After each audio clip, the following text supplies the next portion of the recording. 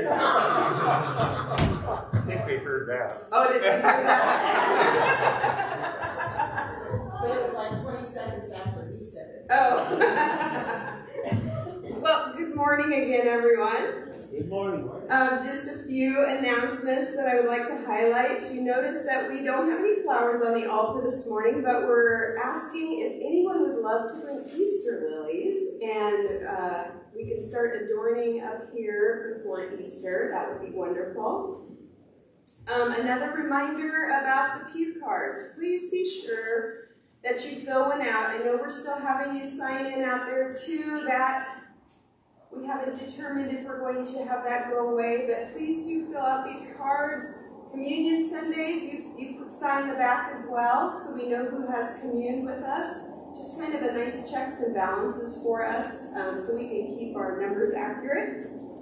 Um, don't forget, next Sunday is, well, next Sunday morning early is daylight savings time. So change your clocks before you go to bed, and we are springing forward. I always remember, fall back, spring forward. So we're springing forward. So be sure you do that.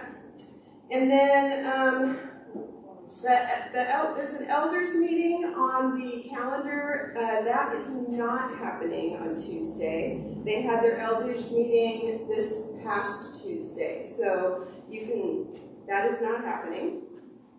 And then um, just a reminder for everyone, and I don't know if you have noticed, but we have been having the screen up here. Um, we are gradually moving away from bulletins so that we have the screen. So just be aware of that. And um, both Pastor, especially Pastor and Robbie, would like your any input on the screen, being able to read it, any of that stuff. So as we move away from it, we just want to be sure that you all are able to continue to read what's going on up there. So just a little reminder what's coming, and I think that is all I have this morning.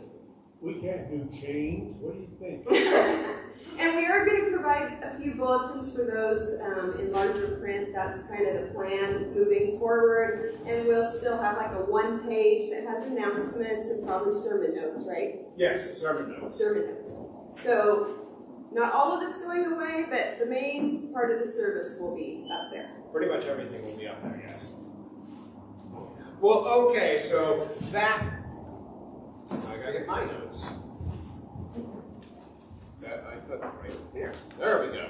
Okay, so with that, let's turn to our opening hymn, A Mighty Fortress is Our God, which is appropriate because we have now started Lent, and so we will sing our official Lenten song.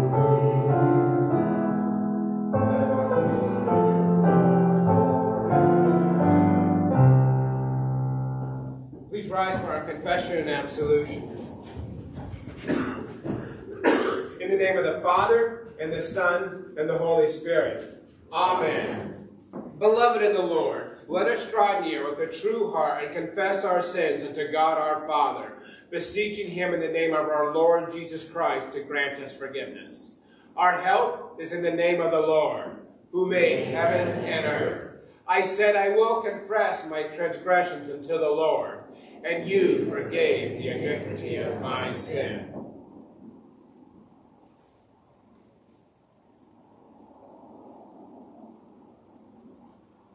Almighty God, Maker and Redeemer, we poor sinners confess.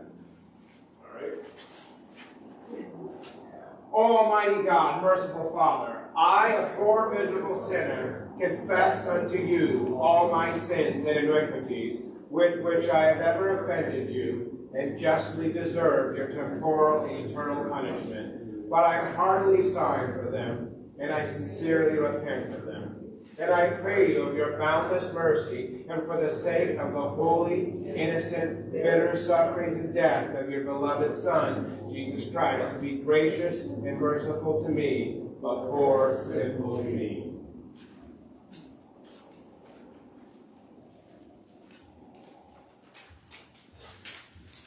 Uh, in the name of our Lord Jesus Christ, I forgive you all your sins. In the name of the Father, and the Son, and the Holy Spirit. Amen.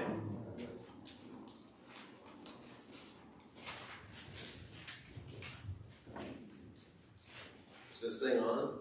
Yeah.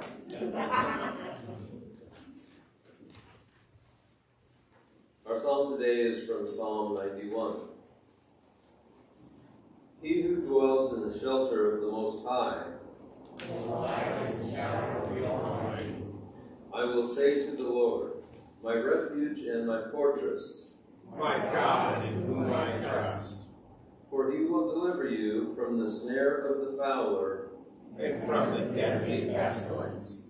He will cover you with his pinions, and under his wings you will find refuge. His faithfulness is a shield and a buckler. You will not fear the terror of the night, nor the arrow that flies by day, nor the pestilence that stalks in darkness, nor the destruction that wastes at noonday. A thousand may fall at your side, but ten thousand at your right hand, but it will not come near you. You will only look with your eyes, and see the recompense of the wicked. Because you have made the Lord your dwelling place, the Most High, who is my refuge. No evil shall be allowed to befall you, nor plague come near your tent. For he will command his angels concerning you, to guard you in all your ways. On their hands they will bear you up, lest you strike your foot against the stone. You will tread on the lion and the adder.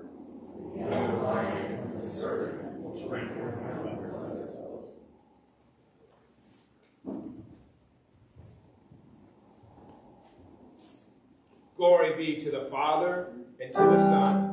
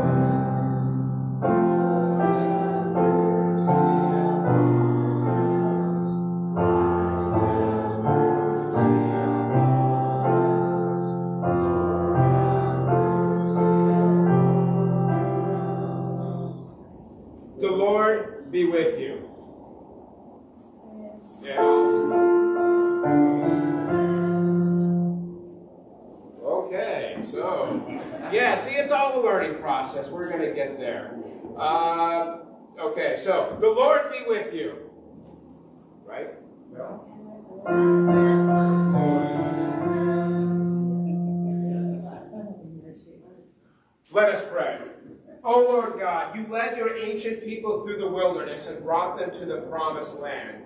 Guide the people of your church that following our Savior we may walk through the wilderness of this world towards the glory of the world to come through Jesus Christ, your Son, our Lord, who lives and reigns with you in the Spirit, one God, now and forever.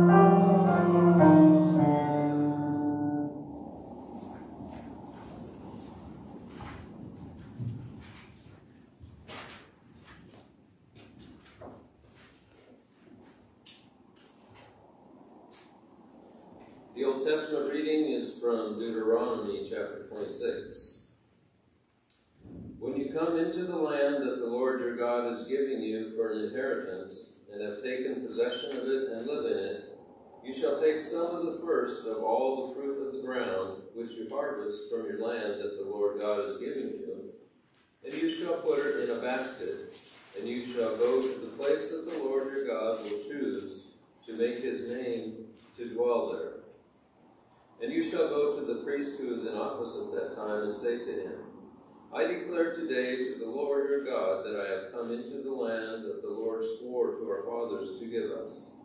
Then the priest shall take the basket from your hand and set it down before the altar of the Lord your God. And you shall make response before the Lord your God. A wandering Aramean was my father, and he went down into Egypt and sojourned there, few in number, and there he became a nation, great, mighty, and populous. And the Egyptians treated us harshly, and humiliated us, and laid us on hard labor. Then we cried to the Lord, the God of our fathers, and the Lord heard our voice, and saw our affliction, our toil, and our oppression. And the Lord brought us out of Egypt with a mighty hand and an outstretched arm, with great deeds of terror, with signs and wonders. And he brought us into this place and gave us this land, a land flowing with milk and honey.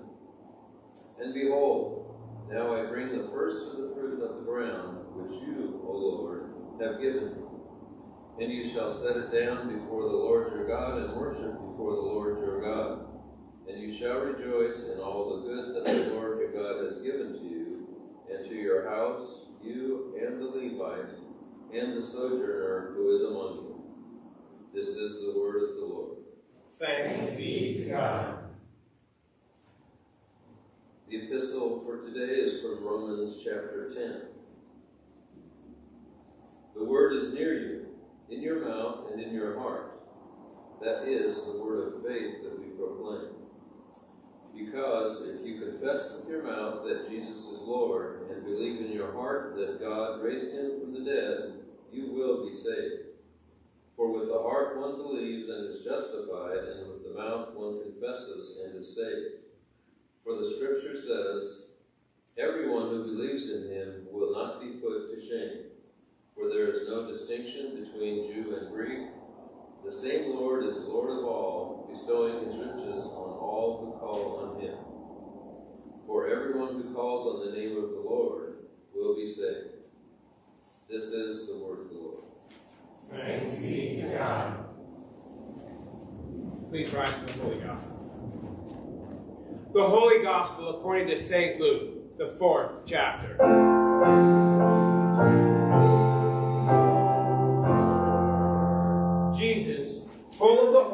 Spirit, returned from the Jordan and was led by the Spirit into the wilderness for forty days, being tempted by the devil. And he ate nothing during those days.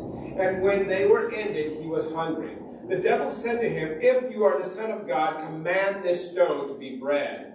And Jesus answered him, It is written, Man shall not live by bread alone. And the devil took him up and showed him all the kings of the world in a moment of time, and said to him, To you I will give all this authority and their glory, for it has been delivered to me, and I will give it to whom I will. If you then will worship me, it will all be yours. Jesus answered him, It is written, You shall worship the Lord your God, and him only you shall serve.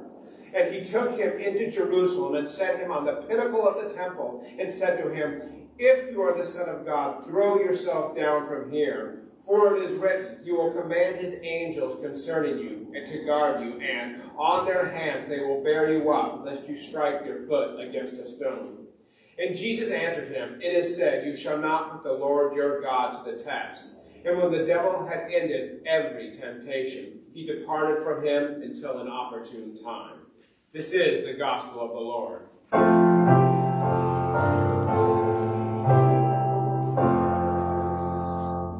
And now please join with me as we confess our common faith in the Nicene Creed.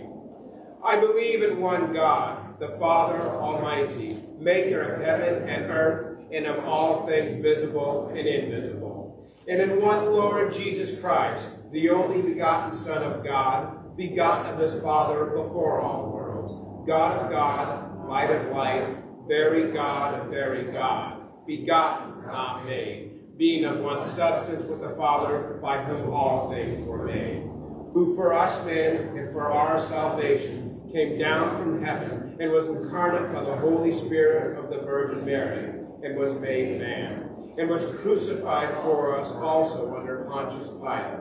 He suffered and was buried. On the third day he rose again, according to the Scriptures, and ascended into heaven and sits at the right hand of the Father. And he will come again with glory to judge both the living and the dead, whose kingdom will have no end. And I believe in the Holy Spirit, the Lord and giver of life, who proceeds from the Father and the Son, who with the Father and the Son together is worshipped and glorified, who spoke by the prophets. You may be seated, we'll continue on to our sermon hymn, which is only going to be up here. I'll play it all the way through once you get how it goes.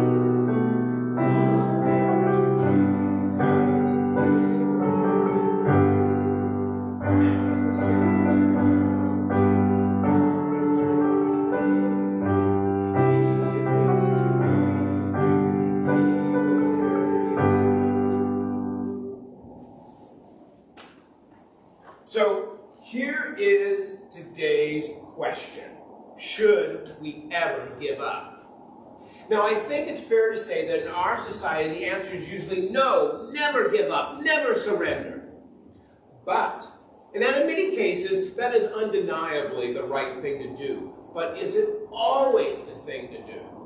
It makes me think about raising my kids. I have lost count of the number of times I have given in to them on their decisions, even though I didn't really want them to do what they did. I mean, take Kai. He wears his shirts backwards. I have no idea why he does that, but there you go. But then again, his daddy does always, I mean always, wear mismatched socks, so maybe he gets his odd fashion sense naturally. But at the risk of not of looking like I don't dress my children properly, I let Kai wear his shirts backwards.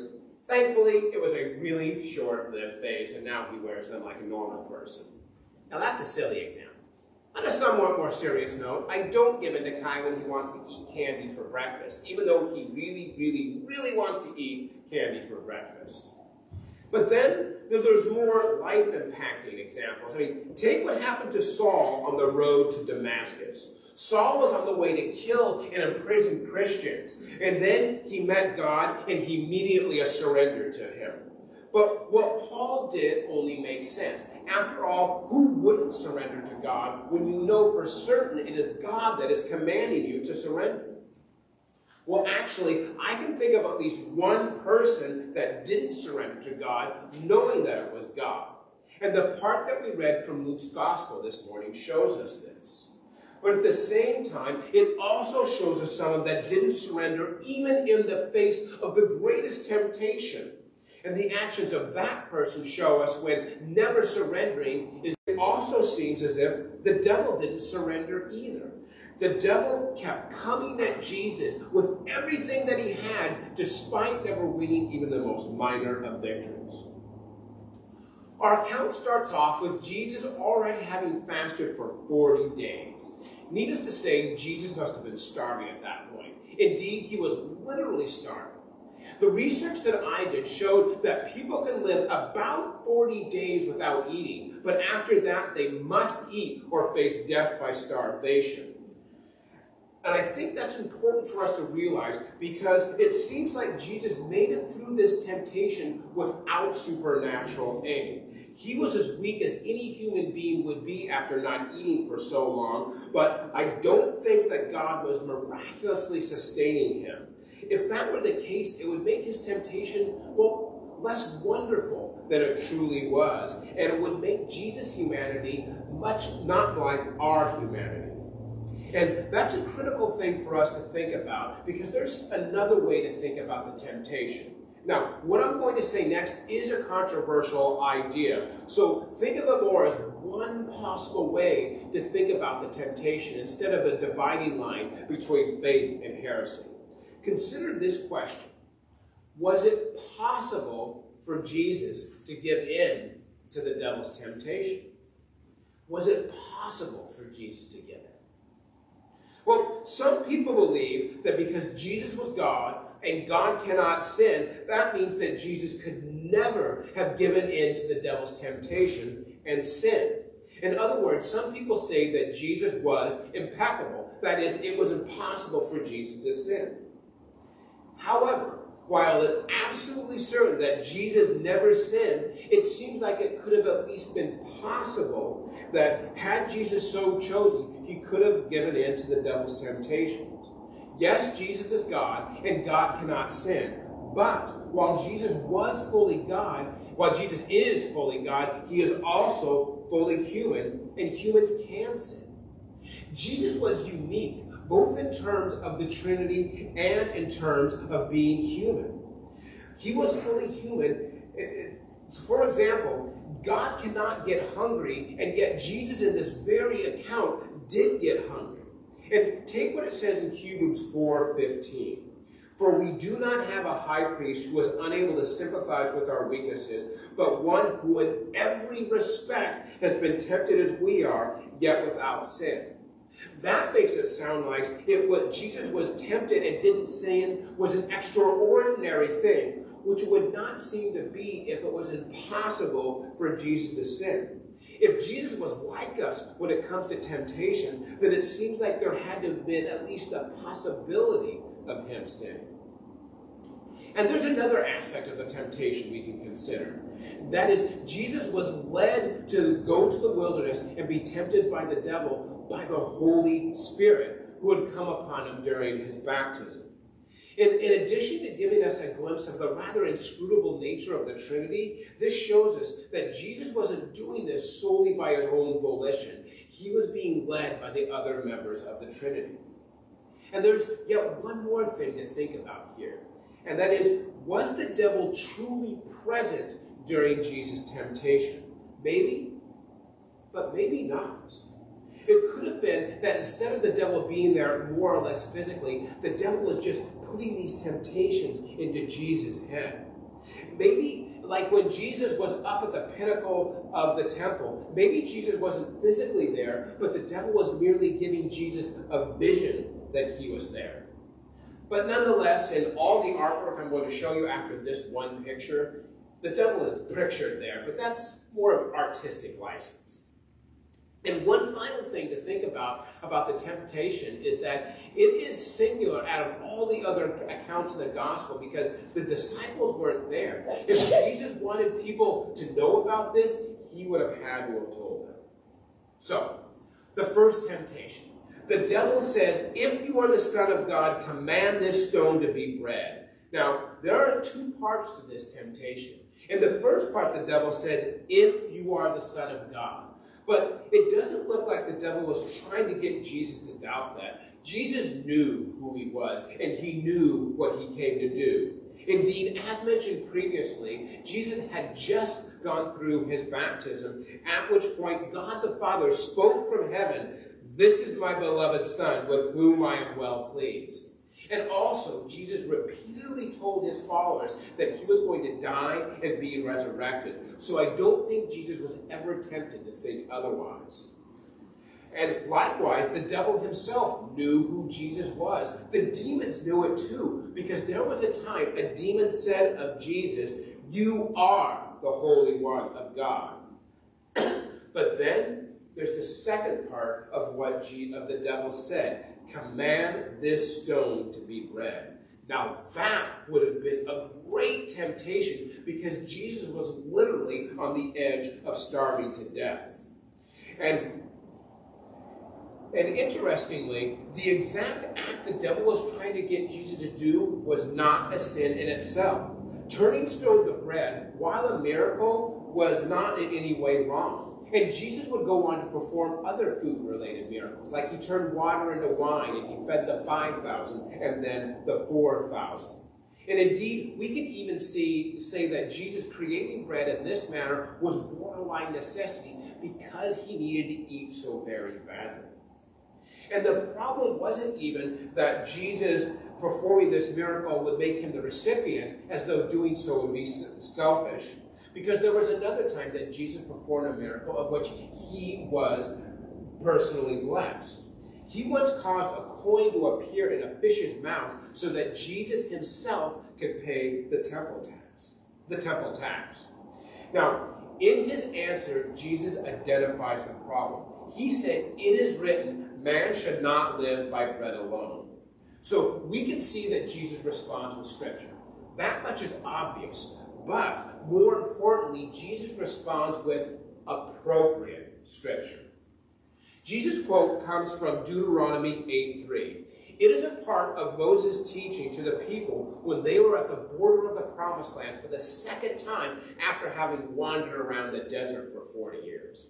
In the part that Jesus quoted, Moses was reminding the people of God that God had tested them by letting them go hungry before he miraculously fed them with manna.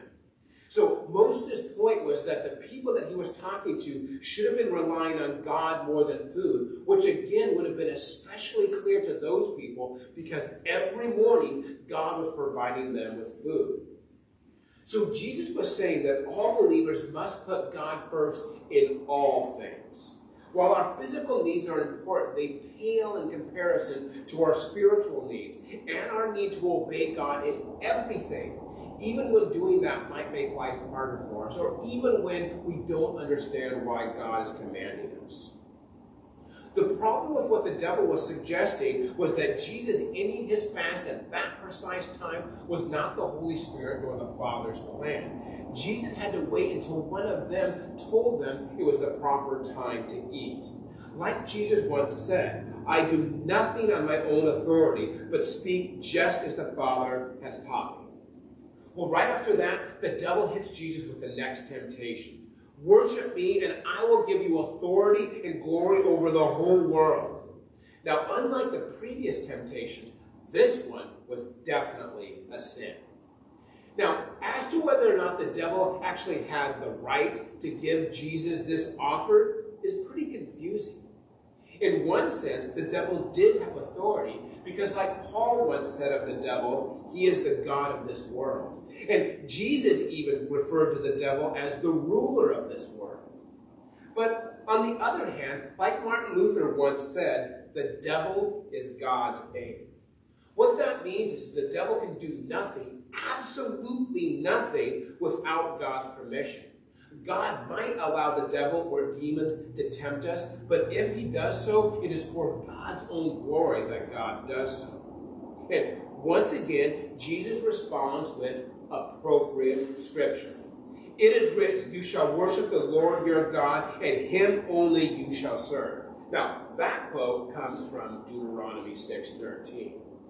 And though it would take time, Jesus himself would receive, would receive this type of worship and be served by people in that manner because one day Jesus is going to be recognized as Lord of all by all. But it was going to be done at a time and a place and method of the Father's choosing, which could only happen after Jesus was died and resurrected. Now, Jesus had no doubts about that. Avoiding all of that pain would have been easier, but it wasn't the Father's way. The devil's way was easier. No physical pain of crucifixion, no emotional pain of being abandoned, no spiritual pain of becoming sin. But sometimes suffering is God's choice for his followers. And no one that loves God would avoid God's plan for their lives, even if it is more painful. Well, right after that, Satan hits the, Jesus with the next temptation. He takes him up to the top of the, of the temple and says, Throw yourself down from here, for it is written, He will command His angels concerning you to guard you.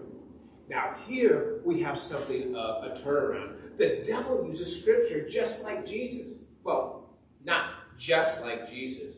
Like I have been saying, Jesus always used appropriate scripture. The devil doesn't do that. He uses God's way in a different way, which shows us once again that the devil is pretty wily, which, by the way, has no relation to my last name. Instead, it means that the devil is going to usually mix some truth in with his lies. The devil was right in that God will send his angels to guard his children, but not right in the way the devil suggested.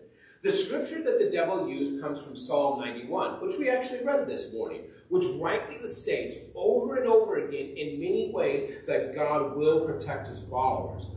But the devil left out a few words. The true scripture goes like this He will command his angels concerning you to guard you, but in your ways. The devil left out the words, in your ways. Will God protect us? Absolutely. But we are only promised that, that if we are in God doing works for Him. God did not give all people an unconditional promise of safety. The promise only applies to His people when they live for Him. Well, Jesus, like usual, responds with appropriate scripture. He said, You shall not put the Lord your God to the test. That one comes from Deuteronomy 6 16. It was originally something Moses said to the Israelites when they accused Moses of trying to kill them with thirst. Well, after God provided water to the people, Moses re- reminds them to stop doubting God. However, when we read this one, we need to be careful uh, to understand what Jesus was not saying. Jesus was not saying that it is wrong, that it is not wrong to trust God to fulfill his promises or even referring to those promises in prayer was wrong. When the an example is when the people that Moses was loading was leading built and worshipped a golden idol, God told Moses he was going to destroy all of them. Well, Moses prayed to God for mercy. And in that prayer, Moses asked God to remember the promises that he had given to Abraham, Isaac, and Israel. That is, that he would multiply them and he would give them the promised land. Well, God listened and he didn't kill those people.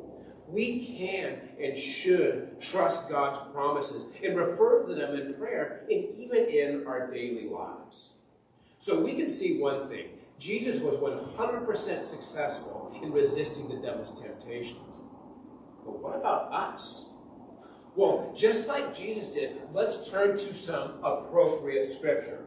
1 Corinthians 10:13 to be exact. There it says, No temptation has overtaken you that is not common to man. God is faithful, and he will not let you be tempted beyond your ability, but with the temptation, he will provide a way of escape that you may be able to endure it. However, just like Jesus, we need to be sure to understand what is being said here. Paul was not giving us an unconditional promise that we will never be tempted beyond our ability, but that we will not be tempted beyond our ability if we rely on God and use God's method of escape. Now, the method of escape is going to vary. Sometimes it'll be completely avoiding temptation. Other times it'll be prayer. Or maybe it will be finding strength with our brothers and sisters in the faith. But no matter what, it will always involve the Word of God because that is our one and only source of the promises of God. And I think it can also help us to try to find out with what the devil might tempt us. 1 John 2.16 says, For all that is in the world, the desires of the flesh and the desires of the eyes and the pride of life is not from the Father, but from the world. When we have a desire and we wonder, is this a temptation? Compared to this verse, and I think we can figure that out. Are we being tempted, or are we being tempted to satisfy the desires of our flesh? That is, do we want to indulge in bodily desires like physical hunger or sexual drive or whatever? Now, note that those hungers are not wrong in and of themselves. God may grant them to us, but it will be at a time and place and method of His choosing.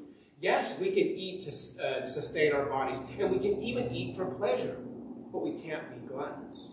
We can enjoy sex, but only in marriage. Jesus could only eat bread when the Father directed him to do it. Or are we being, attempt, are we being tempted by the desires of our eyes? That is, do we want things that God has not given us? More money, more stuff, a wrong relationship. The Bible tends to call things like that coveting.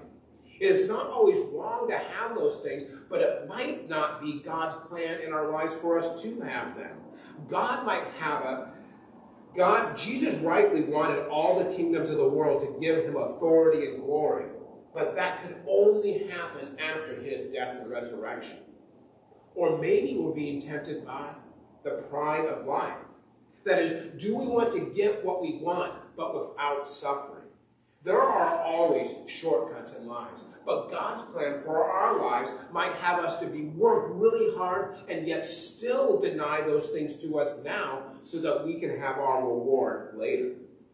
Jesus did not avoid God, avoid pain by calling on the Father to save him. Instead, he went to the cross and sacrificed himself for us. Now, one thing we have to keep in mind as we consider temptation is that temptation is not a sin. Giving in to temptation is a sin. Or, like Martin Luther once said, you can't help if birds fly over your head, but you can prevent them from making a nest in your hair. Yeah, Martin Luther's a clever guy, but there you go. You know, we are like Jesus in temptation. We even have the very same Holy Spirit guiding us. Jesus knows what it is like to be tempted. Like it says in Hebrews 2:18, for because he himself suffered when tempted, he is able to help those who are being tempted. And so, my beloved, I leave you with this. We can resist temptation if we rely on Jesus. Now, may the peace of God, which passes all understanding, keep your hearts and minds in Christ Jesus. Amen. Amen. All right, you may stand for our offertory.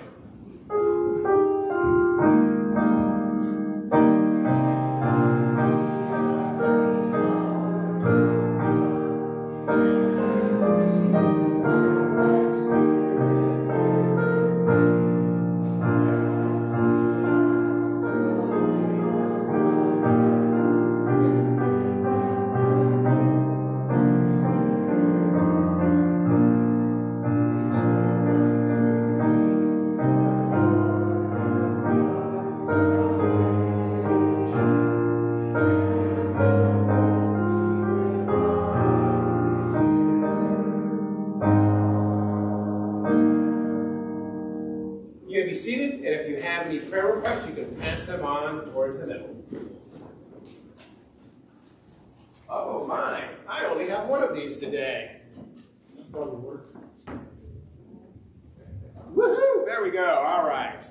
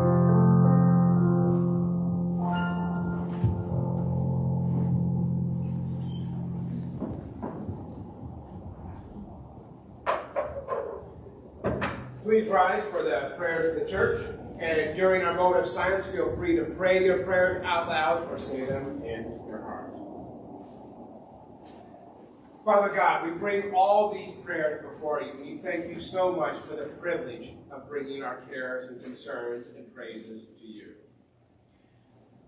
Lord God, we pray that when temptation comes to us, that we are able to overcome it by relying on you. Help us to know that in you is perfect safety from temptation. Lord, your mercy, hear our prayer. Father God, we pray for the doers of your word out there, the people that are carrying your word to others, the people that are working quietly and silently that we don't know of. Please protect them from the world and the devil and help them to do the missions that you have given them. Lord, your mercy, hear our prayer. Father God, we bring up all households to you, but especially the households with children. Give the parents the ability to teach them about you and to bring you up in daily conversation. We pray for those children that the temptations they face may have no effect on them at all, and they stay walking with you now and forevermore. Lord, your mercy, hear our prayer. And Lord God, we bring our government up to you. We pray that the leaders in government make decisions that honor you, and we pray for bravery for them to stand against forces that would have them do otherwise. And Lord God, we ask for forgiveness for the times where our government has not done your will. Lord, your mercy, hear our prayer. And Lord God, we pray for all those who are sick or in pain, be it emotional or mental. We pray them that you relieve them of that, but if not, Jesus, you give them the peace to make it through this. And we pray that you lead us to help those people that are in our lives that are going through suffering. Lord, your mercy, hear our prayer. And Lord God, we once again bring up the people in Ukraine to you. We pray that this war comes to a swift end and any plans of evil that are against them come to nothing. We pray for bravery for all the governments of the world to stand strong in this thing. Uh, Jesus, we also pray for to help us with our anxious thoughts during these times. Lord, your mercy, hear our prayer.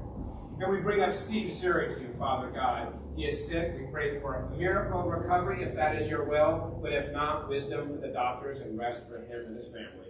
Lord, your mercy, hear our prayer. And Jesus, we continue to lift Pam up to you as she goes through treatments. Please give her strength to make it through these treatments. Please help the doctors to know exactly what to do at all times and give her and all those that love her peace about this. Lord, your mercy, hear our prayer.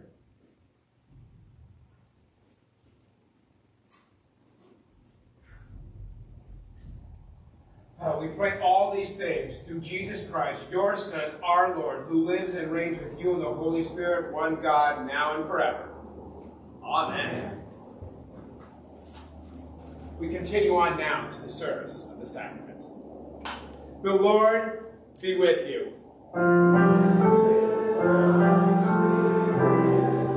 Lift up your hearts. Give thanks to the Lord our God.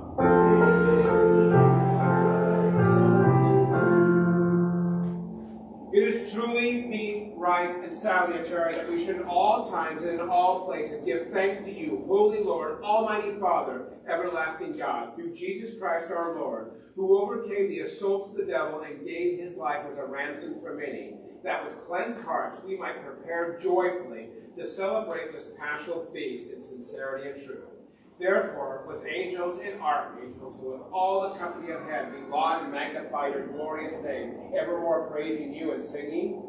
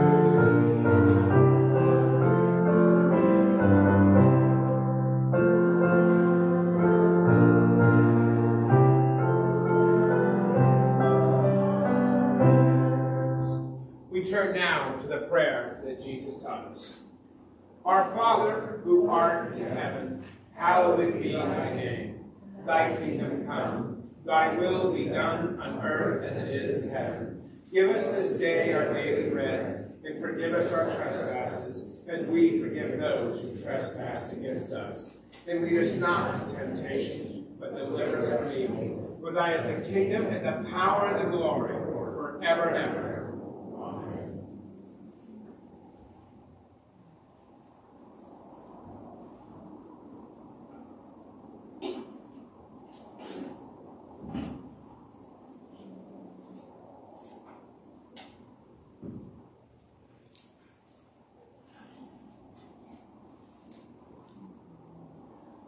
Our Lord Jesus Christ, on the night he was betrayed, took bread, and when he had given thanks, he broke it and gave it to his disciples and said, Take, eat. This is my body, which is given for you. This do in remembrance of me. In the same way also, he took the cup after supper, and when he had given thanks, he gave it to them, saying, Drink of it, all of you. This cup is in the New Testament in my blood, which is shed for you for the forgiveness of sins. This do as often as you drink of it in remembrance of me. The peace of the Lord be with you always.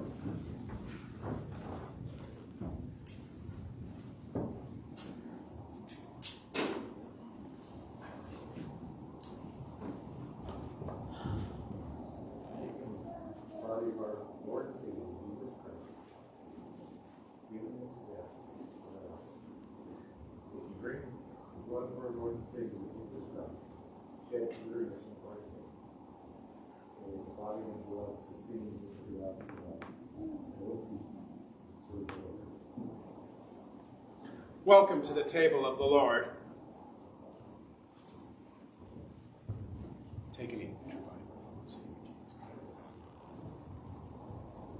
Take and eat, true body. The blood of our Lord and Savior Jesus Christ, shed for you. Take and eat, true the body. blood of our Lord and Savior Jesus Christ, shed for you. You can drink. The blood of our Lord and Savior Jesus Christ, for you. Take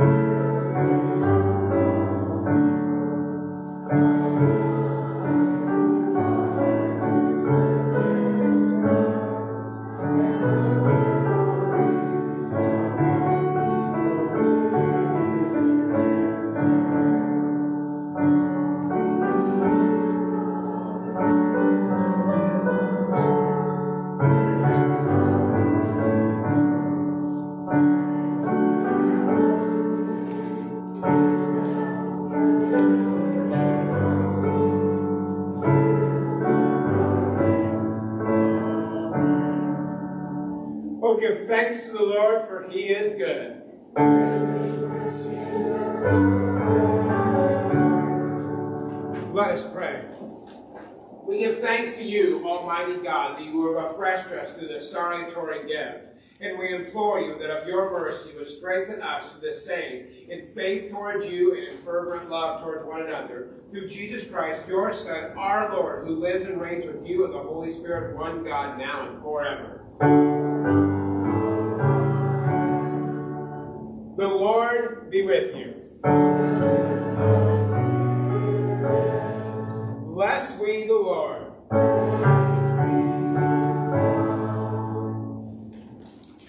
The Lord bless you and keep you. The Lord make his face shine upon you and be gracious to you. The Lord lift up his countenance upon you and give you peace. You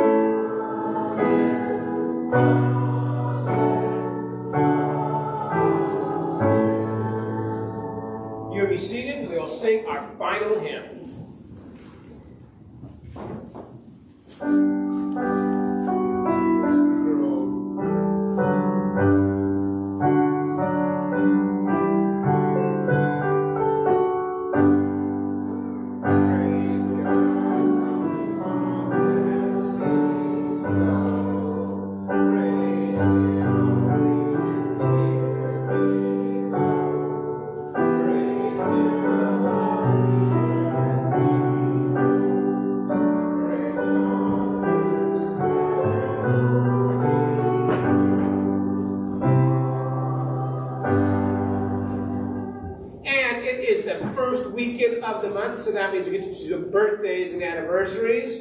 Birthdays first, right? Yes. All right. So, who has a birthday in the month? Uh, month in the month of March? That's by the way, Susie is not. Oh no, Susie is standing up. What am I doing? Yes.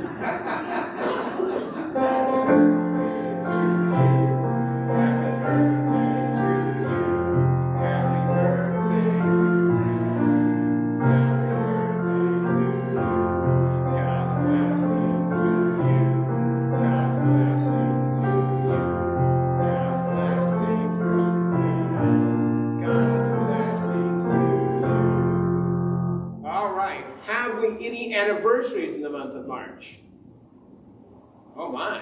Okay. Uh, so we do have cake and fellowship in the back. I hope you all join us there and have a blessed week of the Lord. And I know I keep saying this, but please remember to daily pray for the Ukrainians in your prayers this week. Thank you.